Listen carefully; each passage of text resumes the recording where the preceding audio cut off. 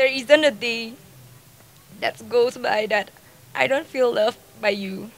And I promise, in this marriage, to do everything I can to make you feel the same.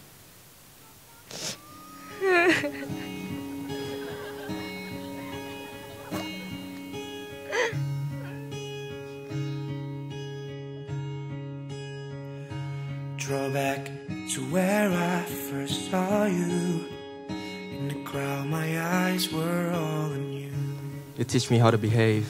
You make me turn into a better person.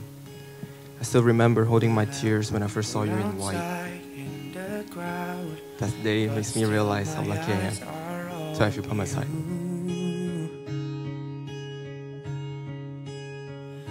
Cause if I can't marry you, I'd rather It's crazy thinking that we have been knowing each other for like 17 years. Now I'm standing here in front of the people I love, reading my vow to you. I'm not going to make promises of how I'm going to treat you in our upcoming days.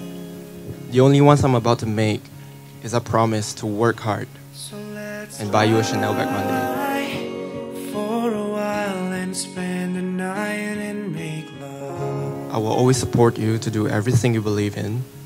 I will cook for you, sometimes. And if you don't mind, I'll still complain about your fallen hairs all over our room. I'll still eat your McDonald's fries fries. You'll still get the last bite of my meal. I'm in love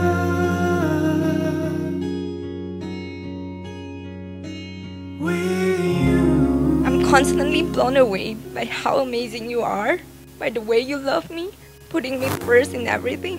Although sometimes your ignorance can make me so annoyed. Because we've been together for more than four years, and the way my love towards you didn't change. It will not change for a single bit. I vow to you to love you for who you are and never try to change you into something that you were not. You're the one who makes me realize and understand the meaning of love. So thank you, Selvi, for making this stubborn and emotional kid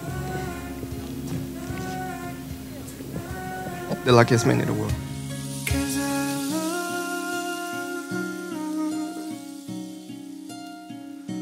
love, love you. I promise to support you in every way from this day forward. I don't believe in faith.